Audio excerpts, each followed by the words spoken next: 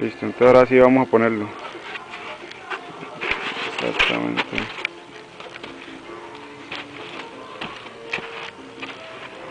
zapatos van.